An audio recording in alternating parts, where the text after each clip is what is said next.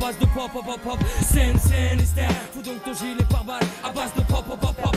C'est à vous la suite à notre table ce soir, un groupe de rap mythique qui compte déjà un peu plus d'un siècle à lui tout seul. Un siècle et quelques morceaux qui ont bouleversé les années 90.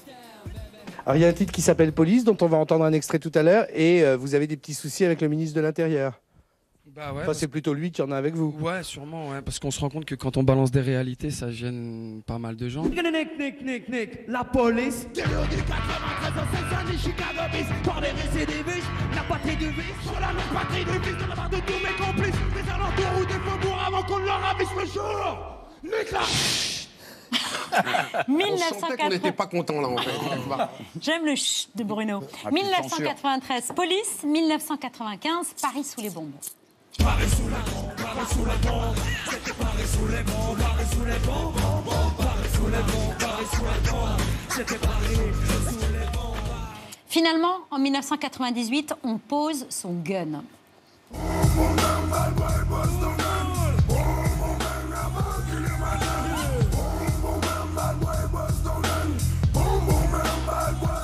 Il y a les musiques, il y a la musique d'NTM des années 90 et puis il y a les images de ce dernier samedi à Paris. L'intense violence qui a marqué l'acte 18 des Gilets jaunes. Vous les avez perçus comment ces événements samedi? Plus, plus globalement, ah, on a la bouche pleine un peu. Les événements de, de- de samedi ou l'en- ou l'ensemble de. L'ensemble. Et particulièrement euh, les images de samedi à Paris. Euh, en 95, on écrivait un morceau qui s'appelait euh, Qu'est-ce qu'on attend pour foutre le feu? Et la réponse qu'on avait trouvée, nous, c'était euh, le jour où les gens vont être un peu plus nombreux.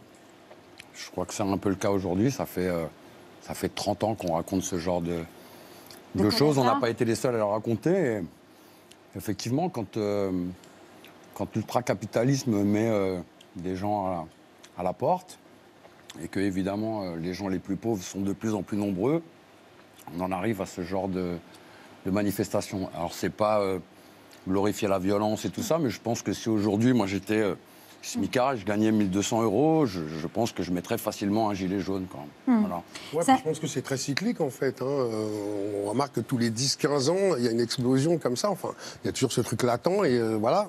Bah là, on y est, encore une fois. Voilà. Samedi, il y avait les Gilets jaunes, mais Alors, en aussi- général, ça part des banlieues sur des, des- des- des prétextes qui n'ont strictement rien à voir, machin. Et euh, voilà. Là, aujourd'hui, euh, bah, on est au cœur de Paris, quoi. C'est ce qu'on disait aussi un peu, quoi. Puis moment on donné, quand ce sera au cœur de Paris, peut-être que là, il y aurait une vraie réaction. Et comme je, je le rejoins là-dessus, euh, moi, je suis pas pour la casse. hein, euh.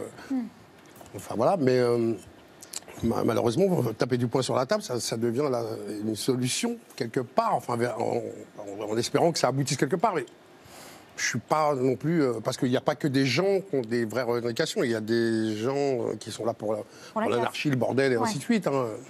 Il y avait les Gilets jaunes, mais il y avait aussi la marche du siècle, avec un clin d'œil inattendu à votre groupe. Ce slogan en particulier, on nique pas sa mère. MER,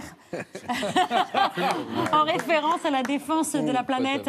Elle est bien cette Ouais, référence-là, l'avais non déjà vu passer sur Internet aussi euh, bien avant cette histoire. Ouais. C'est la jeunesse là qui vous rend Ah, hommage. mais c'est bien, en regardant, euh, ouais, on, on se dit qu'on n'a pas qu'à regarder dans le rétro, il faut regarder devant aussi et que c'est encore là. Quoi. Euh, Mais de toute façon, ça allait encore. euh, L'année dernière, on a fait une tournée. euh, franchement, le rendu, il est juste. euh, Enfin, on, on est ressorti la tête haute. Quoi. Enfin, bon, moi, je me prends pour un chef de tribu africain, donc forcément, je marche tout le temps la tête haute. Mais non, non, très sérieusement, euh, c'est voilà, c'est très glorifiant pour nous. euh, la référence. hein. Après, euh, je pense qu'ils sont dans un autre combat encore euh, qui est très actuel et. euh, et j'ai vu, moi j'ai posté moi-même plein de trucs un peu euh, où les gens se- se- s'étonnent que des gens si jeunes peuvent dire euh, lèche-moi euh, le clito, mais nique pas ma mère, enfin ou, Ouais. euh, ou ma planète ou machin, nan, mais euh, Vous, on ça vous étonne du pas mode de Ah. communication. Le, le projet, c'est que euh, moi j'ai des enfants, on a tous, euh, on a tous un avenir euh, avec cette planète, on a tous une relation intime avec en plus. Et que merde, ils ont raison les gars. C'est l'intimité de la relation avec la planète qui, du coup, justifie ces, ces slogans féministes et justement sur le, le sexe des femmes.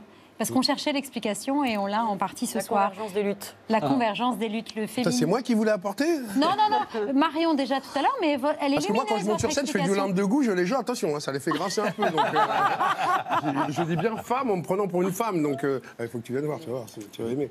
Euh, tac, donc du coup, euh, je, je me découvre une âme de... Bon, féministe. allons-y, c'est c'est trop long ce que je raconte. Non, c'est intéressant.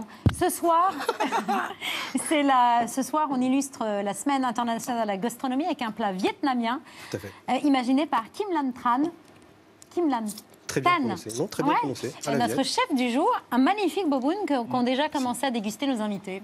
Et c'est un, un des plats typiques du Vietnam. euh, le boboon, donc euh, une salade de vermicelle de riz au bœuf. Il et est magnifique, chef.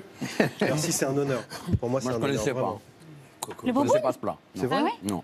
Pourtant, c'est un des plats typiques À du l'autre petit voyage, euh, à un moment donné, je comprends plus. Non, mais pas au Vietnam, j'ai pas fait. Ah, d'accord. Bah, je vous y invite. Euh, Ah, C'est gentil. Je vous y invite. Aujourd'hui, tout le monde s'y emploie au boboon, que ce soit les, les Chinois, enfin tous les traiteurs chinois. il Exactement. Bon, là, vous avez la version authentique. La version authentique ce soir. Merci, chef. Et merci. euh, Alors le petit problème d'articulation que tu as dû avoir au, au sujet du nom de... Ça, c'est c'est ce qu'on t'a fait boire avant. C'est un Oui. petit carouquera euh, qui vient de chez Montaguer, euh, produit guadeloupéen de cette année. Et euh, c'est Bah de- oui, oui. c'est- c'est- c'est- c'est de la canne, D'où mes petits problèmes d'é- d'élocution. tout naturel. Merci beaucoup. Alain. Merci à chaque fois. Bon, je vais essayer d'articuler. Eh ben, Euh, on a parlé de la tournée cet été, avec, et pour la toute première fois, messieurs, dames, depuis 20 ans, un nouveau morceau qui n'est pas signé Joe Star, qui n'est pas signé Cool Chain, qui est signé NTM. Vous l'avez fait tous les deux, c'est d'ores et déjà single de platine. Ça s'appelle Sur le drapeau. On écoute.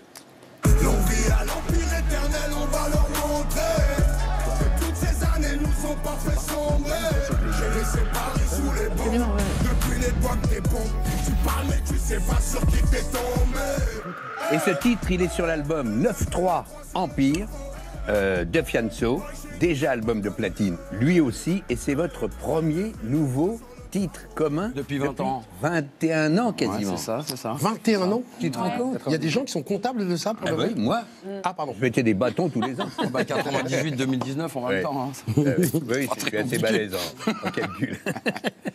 Euh, ouais, à la demande de, de Fianso. On n'avait pas fait de morceaux ensemble, effectivement, depuis euh, une vingtaine d'années.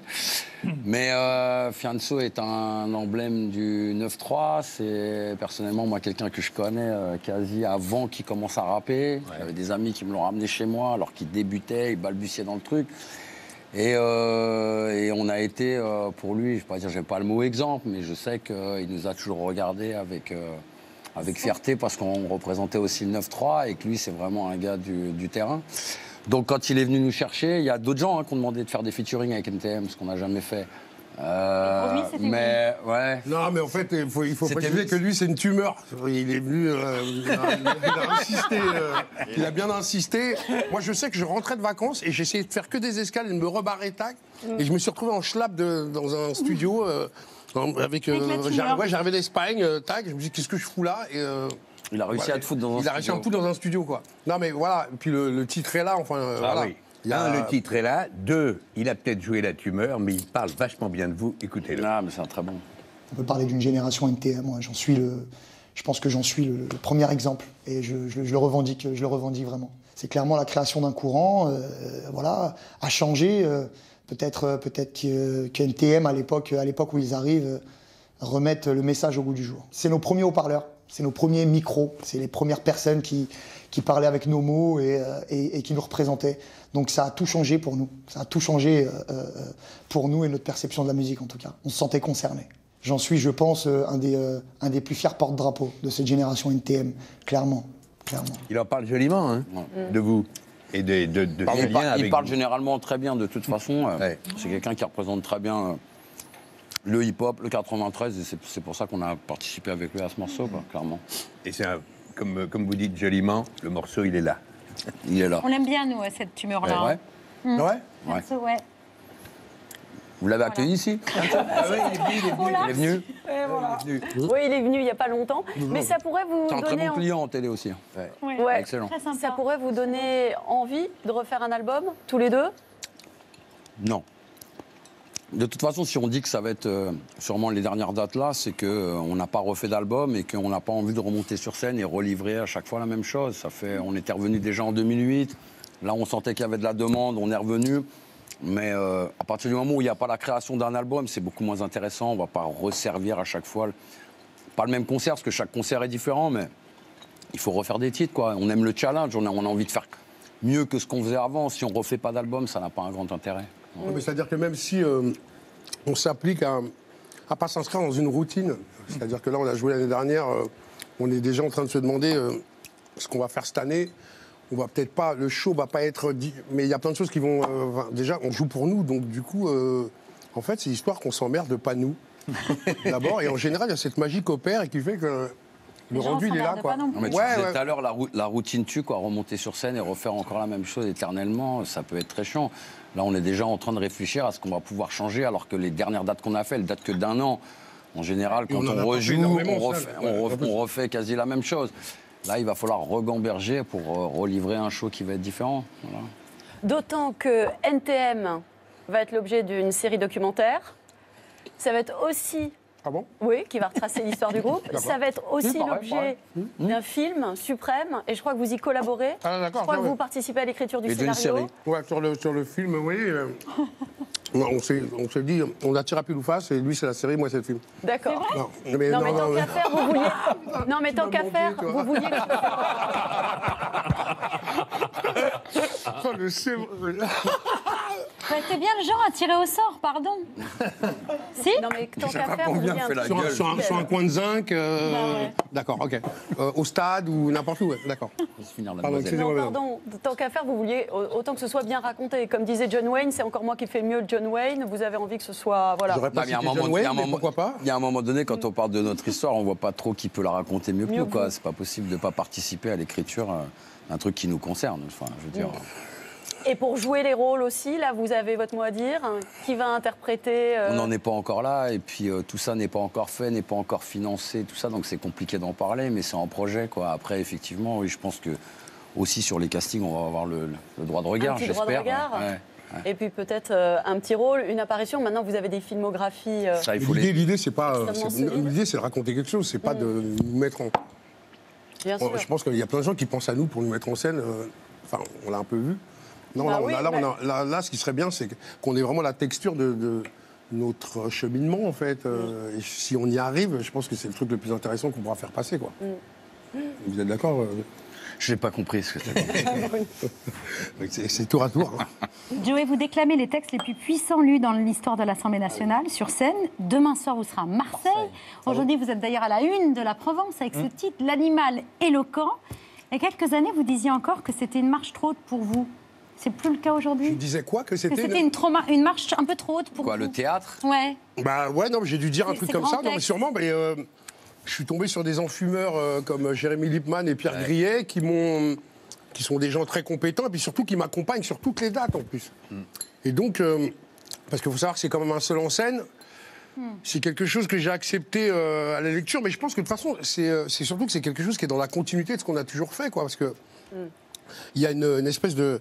Déjà, déjà, ce sont des discours euh, qui ont été livrés à l'Assemblée nationale, pas tous. euh, par exemple, euh, Olympe de Gouges ne l'a pas fait, mais euh, il y a les écrits.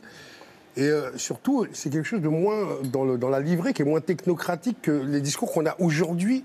Et c'est pour ça que je dis que ça, ça nous. ressent- Enfin, moi, je me suis senti. euh, C'est usuel, quoi, hein, enfin, dans, le discours, chose- voilà, ouais, usuel. Et puis, euh, en fait, l'idée, c'était de prendre des artistes qui ont eu des hauts postes. Et donc, qui, ont, euh, qui ont euh, été faire des discours à, à- à- à l'hémicycle. Voilà, à l'Assemblée nationale. Et donc, voilà. Et donc, du coup, il y a quelque chose de plus humain, plus. euh, alors, Des discours d'aujourd'hui, euh, ça vous enflammerait moins, vous seriez moins inspiré de les on en, déclamer. on en a des, des- des- qui sont assez proches. On a Simone, Simone Veil, on a Nicolas Hulot, euh, quand même, parce que bon, euh, voilà, c'est pas rien. Mm. Non, il y a des choses qui. euh, c'est des extraits. De toute façon, euh, faut, faut voir Hugo. Hugo euh, comment Victor ça- Hugo, Lamartine. Non, mais Hugo, euh, comme il s'appelait le Castro, à côté, c'était de la merde. hein. Le mec était fleuve. hein, euh, ça, y allait, quoi, tu vois. Et vous pourriez nous, nous déclamer un petit bout de Hugo? Ah non, non, pas sur pleine digestion, là, non. seconde. non, non, mais ce que je veux surtout dire, c'est Ouais. ce qui est intéressant, c'est qu'on a des choses qui, qui date de début 1700 ou autre et qui parle du langage. Et on y retrouve un peu euh, ce qui se passe aujourd'hui quand, vous savez, les, les gens vous envoient des textos, là, euh, des espèces de textos avec les fautes d'orthographe, les machins, ce truc de langage. Et il y a un mec qui s'appelait l'abbé Grégoire qui en parlait déjà en expliquant que il y a, euh, on a, on a, on a été, la langue française a été là pour signer des traités russes, des traités entre la Turquie et la Russie, je veux dire. On, le parle sur les bords du Mississippi, mais comment se fait-il qu'en France, on galère, enfin, voilà, il y a si peu de gens qui parlent le français. Et le, le peuple se doit de connaître la langue pour lui obéir et la comprendre pour les lois. Vous l'avez vu sur scène, Bruno? Non. Non. Bon. Et donc Et alors? Vous aimeriez? Non, non, non. On m'a c'est- jamais vu jouer au poker. hein. non, je vais au cinéma, connard. Et le théâtre, ça vous dirait? Euh, je dirais comme il a dit à 5 ans, j'ai l'impression que la marche elle est haute. quoi. C'est vrai, ça vous effraie un peu Ah non, mais c'est vrai, on en a parlé encore euh, il n'y a pas longtemps Ah et tout. C'est assez effrayant le théâtre. Après, entendons-nous, moi, sur mon, mon premier essai, je suis sur une lecture. Je suis pas sur une lecture traditionnelle euh, avec un pupitre tag, je suis sur une lecture actée. Euh, je pense qu'à mon avis, ils, ils m'ont fait la propale, mais ils, ont très bien su à qui ils la faisaient en même temps. Mais en même temps, l'exercice, il est. euh, Enfin voilà quoi, parce que c'est quand même. euh, on passe de, de- de Robespierre à Aimé Césaire, de Simone Veil à Olympe de Gouges, de Lamartine à machin. Et, c'est des choses que tu es obligé d'incarner. Donc même si j'ai un, un espèce de prompteur derrière le public, parce que c'est comme ça que ça se passe. voilà, faut, faut le jouer, faut l'envoyer, faut le, voilà, et il faut tout ça sans se prendre pour Mélenchon. À aucun moment. C'est la, la euh, consigne. ah non, mais oui, non, mais je veux sans dire- envoler des lyriques. Je veux dire, à aucun moment donné, euh, non, sé- sérieusement, il y a- y, y des choses. Moi, euh, moi, il faut comprendre un truc, c'est que je l'ai lu d'abord. J'ai appelé les gens pour leur dire, euh, waouh, franchement, c'est génial, j'ai envie de le faire. Et euh, deux heures après, parce que c'est un peu ça l'histoire de ma vie, je me suis dit, mais mec, tu vas monter sur scène tout seul, aller faire ce truc, alors que je jamais monté tout seul sur scène. Euh, j'ai toujours un DJ, un mec ou quelque chose, tac. Et, et c'est après coup que je me suis dit. C'est bien beau toute, cette poésie, tout ce romantisme, tout ce truc qui t'emballe, machin, mais là tu viens de dire oui à ça. Et en fait, ils m'ont mis super à l'aise et, euh, plus ça va, plus ça, prend du char. Enfin voilà, on arrête bientôt et c'est dommage. Vous disiez, il y a 5 ans, j'envisageais pas ça. Mais en 30 ans, qu'est-ce qui a le plus changé chez vous? Joe Star déclame des Ma grands des textes. cheveux. Bon, ok. Qu'est-ce qui a le plus changé chez moi en 30 ans Ouais, et chez, chez- En- en, euh, Artistiquement ou en, en- gé- généralement Généralement, Euh, artistiquement. Prendre les choses un peu moins au sérieux. Y compris artistiquement. Comment Y compris artistiquement Euh, Ouais, y compris artistiquement. Ouais, ouais, ouais. ouais. J'ai toujours pris les choses peut-être un peu trop, trop au sérieux, quoi. Donc, euh, c'est bien pour une fin de vie d'être un peu plus zen. quoi, tu vois. Une fin de fais vie. comme moi, Bah, je fais on comme est moi en fin-. Et moi, je fais tout l'inverse en fait. Ah oui Maintenant, j'ai un agenda, tac, euh, je sais ce que je vais faire en 2020. euh, euh, déjà, en général, quand on prononce le mot agenda, j'ai j'ai le tournis quoi. Euh, Et voilà. plus maintenant. Non, je dis aujourd'hui. Ah oui, avant, avant, pas du tout. Avant, agenda, il connaissait avant, pas le mot. Ah, il Avant, connaissait pas le mot. avant était là. C'est- C'est moi qui voulais user. C'est personne d'autre. D'autant qu'en plus d'être rappeur, acteur, y compris de théâtre, vous êtes désormais explorateur. Ça va? Mais oui, aussi. slash journaliste pour la chaîne Viceland. Lui visite les Ah, mais casinos toi, t'es filmé, toi. Voilà. Vous êtes parti, je cite, sur la route de la soif, Ouais. à la recherche des meilleurs rhums du monde. On regarde cet extrait à Haïti avec l'acteur Jimmy Jean-Louis et un homme au nom extrêmement poétique. Est-ce que vous pouvez vous présenter pour nous? Je vais vous dire pourquoi, parce que moi qui suis martiniquais, mon père s'appelle Jean Charlemagne, son frère s'appelle Mano Rigobert. Donc ils ont tous leur prénom et des noms de rois de France derrière. Comment vous appelez vous Je m'appelle Charles de Gaulle, oui. Charles de Gaulle, Louis. Et alors, et vous avez des frères et sœurs? J'ai un frère, Jean- Jean-Simon Balzac. Jean-Simon Balzac. Oui. Pourquoi tu rigoles Toi, tu t'appelles Jimmy Jean-Louis. C'est-à-dire que toi, t'en as trois en un, toi. Vous, vous avez aussi, pardon, deux sœurs. Exact. Un d'entre eux s'appelle Lucrèce Borgia, Louis. Lucrèce Borgia. Oui. Ah, et l'autre? Euh, l'autre s'appelle Sheila, Louis. Sheila. Non, mais c'est- on est arrivé dans l'endroit et il y avait une, une espèce de matrone qui tenait un, un endroit où on devait dormir. Et qui arrive et qui fait Monsieur Charles de Gaulle nous, bien sûr, bien sûr, vu le programme qu'on fait, on a à l'affût de la moindre connerie, quoi. Et là, une fois, deux fois, trois fois, je vais voir la dame et, la- et franchement, c'est, on est vraiment là sous sous le joug du matriarcat. La dame me regarde comme ça. Oui, oui, il s'appelle Monsieur Charles de Gaulle. D'accord, donc on va le voir, et comme il se fait engueuler toute la journée, le mec il est comme ça, genre oui, je m'appelle Charles. Ce qu'on va faire, on va te prendre à part, mec. Non, mais je peux vous raconter une pas mal, c'est qu'on on va dans, dans une distillerie en Haïti, que je ne citerai pas. Et, euh, et euh, on arrive et euh, on nous file des t-shirts, euh, des machins, et on remarque, c'est- vraiment une usine à gaz, quoi. Et puis les, les gars font pas de la mélasse, donc ils font de la bagasse, c'est-à-dire qu'ils cassent la canne, ils la broient, enfin on est vraiment dans l'usine. Et tout le monde a des t-shirts blancs, propres sur eux, machin. euh, à un moment donné, on- n'est plus des touristes, donc euh, on se dit, ah, c'est génial. Et j'ai un de mes potes qui m'accompagne tout le temps, qui a chaud, donc change de t-shirt et met ce t-shirt blanc et qui est black et tout ça. tac. Et donc le gars, il- on est en train de tourner nos trucs, il surveille, et là, il y a un Renoir qui arrive et qui lui dit Qu'est-ce que tu fais là, toi? Va travailler Voilà. Et alors que tout le temps, on nous dit Non, ici, le climat social est génial, vous allez voir. euh, donc, non, mais c'est- La preuve par la non, suite. j'ai juste mis un t-shirt propre, pas blanc, propre. Voilà. Et j'adore cette émission parce qu'on est. euh, en fait, au départ, au départ, c'est un truc qui s'est monté sur euh, un peu comme on est là. euh, et si on faisait ça et machin, euh, Et hop. euh, tac. Non, non, mais c'est surtout, c'est surtout que Un peu voilà, comme et NTM, un peu comme. NTM, Un peu comme NTM, ouais. voilà. Un peu, un peu comme NTM, mais c'est surtout qu'à force d'y aller, tu te rends compte que bah, il y a tout le cursus de la canne, l'histoire. Le colonialisme et machin. Il y a beaucoup de choses Cette année, qui- cette année on, va, on, va, on va plus être en France. Moi, mon rêve, c'est d'aller faire des trucs genre. Par exemple, d'aller aux alentours de New Orleans, il y a tous ces gens qui font, euh, qui font leur propre alambic de je sais pas quoi et qui n'aiment pas les négros qui tirent sur les flics et machin. D'aller voir ces gens dans les bois qui font de l'alcool, qui faisaient, dont la famille faisait de l'alcool avant la prohibition et ainsi de suite. Et euh, qui, vivent en autarcie comme ça, Ah ouais. machin. Et qui, voilà. Donc, moi, l'idée à un moment donné, c'est d'aller faire des trucs comme ça. Et on a, on a trouvé des adresses. euh, du côté d'Auschwitz, du côté. Mais à travers le monde, partout, les gens font des trucs. euh, Il y, a des- il y a encore des résiduels de, de l'histoire. les mecs. C'est des rednecks, ouais. Non, mais il y a des résiduels historiques partout euh, concernant l'alcool. Et l'alcool, c'est toujours quand tu remontes, tu tombes sur une histoire de, de gens, ou de peuples, ou machin, ou d'échanges. Et en fait, aujourd'hui, on s'inscrit comme ça. Et je suis en train d'écrire un autre truc vite fait qui s'appelle Je mange, je mange et je bois. Parce que bon, bah, quand on est bien. bah, On mange, on mange et on boit. Voilà, que demande le peuple. Et donc, euh, on- pareil, on va faire un truc plus terroir encore. euh, on va voir. L'histoire vue par Joe Star, mais aussi le bac. Et oui, parce que Study euh, Tracks. ouais, ouais. comme maintenant qu'il a un agenda, Pour conclure. énormément de trucs, Hum. euh, Study Tracks, euh, tu- vous, vous avez enregistré des textes et des chansons pour aider les mômes qui préparent le bac. Alors, pour, je pense que pour aider, ouais, il y, a- il y a de ça aussi. La cause, pour moi, elle est là aussi. Oui, c'est qu'il y a plein leur plein- donner envie. Voilà, mais on va dire, on va dire pour accompagner. Ouais. On va dire pour accompagner aussi. Mais en fait, euh, l'idée, c'est vrai que bon. Bah, euh, effectivement, aujourd'hui, la musique euh, est vecteur de, de plein de choses. Quoi. On peut faire passer de l'info dans tous les sens. par d'écouter Non? Faut pas conclure? Ah, mais on écoute, on écoute. On écoute Ah bon Joe Star et l'affaire Dreyfus. Dreyfus, alsacien d'origine juive, est accusé d'avoir livré aux Allemands des documents secrets. Jugé et condamné sans preuve pour trahison, il est déporté en Guyane à perpétuité. Il est la cible de l'opinion publique. Et voilà, en allant sur... C'est des phrases kilométriques Ouais, qu'il faut calibrer dans la Bien musique. sûr.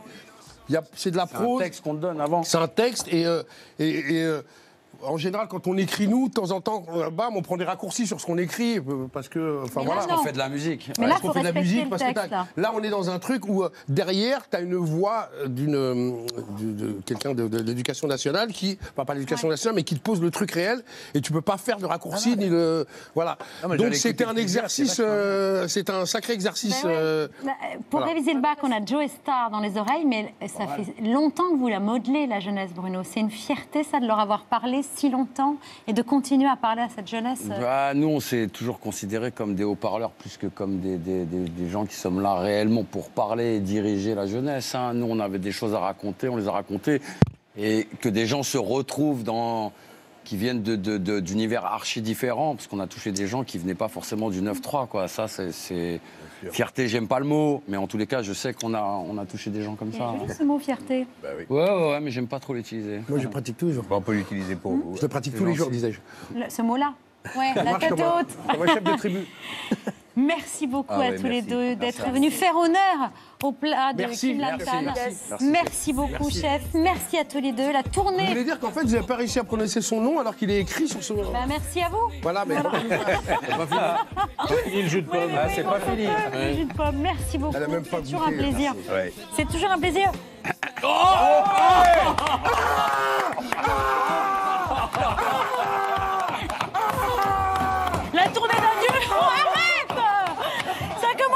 été dans tous les meilleurs festivals vous avez vu qu'on peut, on peut chanter euh, dans un Bercy sans micro tous les deux hein. Maintenant, ouais Allez, 22, 23 novembre Et moi, je sais pas quoi.